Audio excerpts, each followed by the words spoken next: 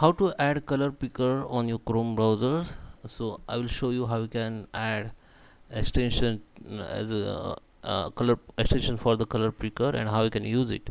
So let's start with the video guys. Before we start i request you if you like this video hit the like button subscribe my channel and don't forget comment below. So let me start with the video. So just open your browser here and now we need uh, one uh, extension for the color picker. So uh, for the pick the color. So what you need to do just click on this three dot option go to the more tabs and go to the extensions.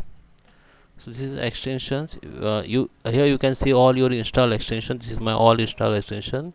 So now we want uh, need to uh, add the new one. So we need to go this option and go to the open the chrome web store.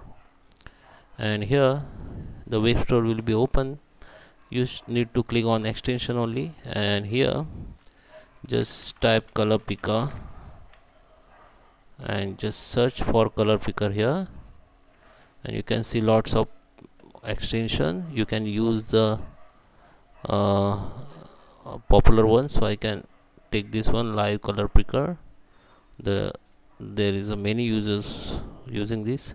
So just click on add to chrome. It will be add. Just click again add to extension so some file will be download here.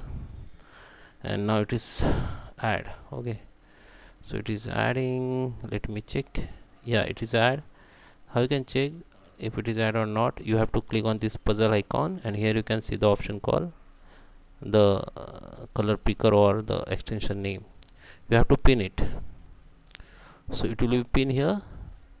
Now how can pick the color so if you want to uh, pick the color from facebook so if you want to color pick from if you want to okay. So how you can pick the color from facebook or any other website? Just open the website just color click on color picker and click on pick color. Okay now okay so now your arrow will be converted into the uh, arrow has another uh, you know there is the icon you can see now what you need to do you have to just navigate this cursor to the these objects. Now you can see this object got this color. So I got this WhatsApp color. After you got this color on this icon just click click button of mouse just click on it. Now you can see color has been changed here. Now we just pick this color and this is a color id or you can say color code. You have to just click on it. It is cop copy now. Just click on it. It will be copy.